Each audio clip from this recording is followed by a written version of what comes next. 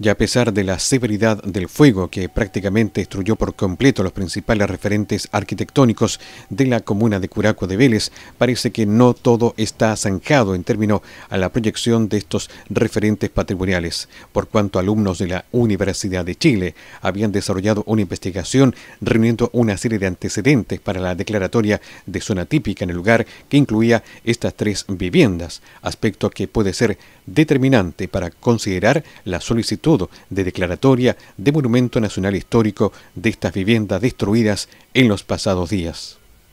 Eh, la verdad es que aún es tiempo de solicitar la declaratoria de Monumento Nacional, ya sea en la categoría de Monumento Histórico Zona Típica. Va a ser un antecedente el que hayan sufrido un incendio lamentable, pero afortunadamente había un expediente previo levantado con todos los antecedentes, entonces ahí está el fundamento del por qué debieron declararse. Y así que el, estado que hoy día está eh, sea sea una condición para declararlo, no, sino que va a ser un antecedente más de los que ya existen. La eventual declaratoria se puede sumar a acciones desarrolladas por el municipio de Curaco de Vélez, tras lo cual podrían dirigirse recursos para la reconstrucción de las viviendas siniestradas. En una proyección en esta línea destacó la encargada de regiones del Consejo de Monumentos Nacionales.